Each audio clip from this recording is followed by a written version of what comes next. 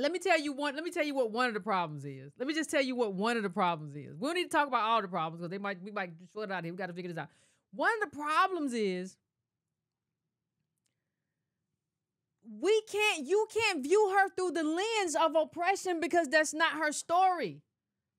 And you can't tell me, well, Yvette, she just had two parents who were professional people. That puts her in an, that puts her in an elite category in terms of like where she like uh, being a new immigrant when her parents got here in this country. But let me also say one other thing. You know how selection goes a lot of the time, right? But she went to that Exeter school. Y'all remember I talked about her cousin went there too, Roxane Gay.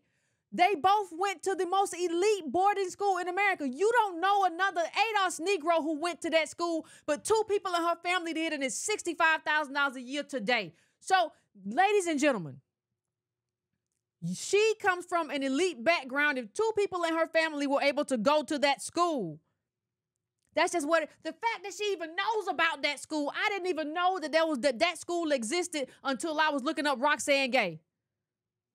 Cuz I was trying to figure out where she come from. So, I didn't even know that school existed until I looked up. So, I that's how I figured it out.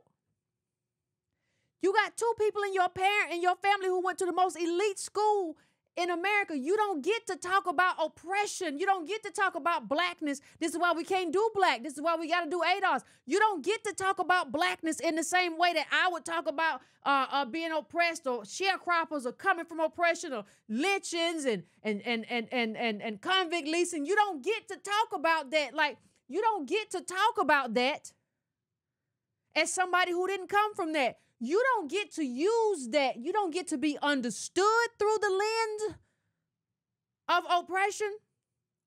You don't get to be understood through that. You cannot be understood through that. And you certainly cannot be defended through that. You cannot be. You cannot be defended. You have to be, listen, you know how you know how she has to be defended? The same way you would defend um Vivek Ramaswamy if he was over there. The same way you would defend uh, uh, uh, a Latino man who is president of Harvard who came from who came from uh, Mexico or Ecuador or whatever. His parents came from there. That's how you defend. You cannot defend her with what happened to us. That did not. What happened to her did not happen to us, and what happened to us did not happen to her. We have two very different backgrounds, and you are using this this dimwit. Nikole Hannah-Jones is using all of this political capital that we have and squandering it on this mediocre lady whose story has nothing to do with our story. And you know what I feel like? I, I feel like when this happens, they call up the Black Girl Magic Brigade and say, come on out here. We got to talk to you. You want to still get these, Nikole Hannah-Jones, you want to still get paid $30,000 a speech? Well, come outside. Because we need to make sure that, that, that, that Claudine Gay don't get, don't, don't get fired. So make sure you come outside. Get your braids on, girl. It's, I eh, child, you put them things in summertime. It's wintertime, and you still got summertime beach braids in, and you didn't really need them. Y'all ain't got me talking. You didn't really need them. You know, you know why ADOS women put braids in in the summertime.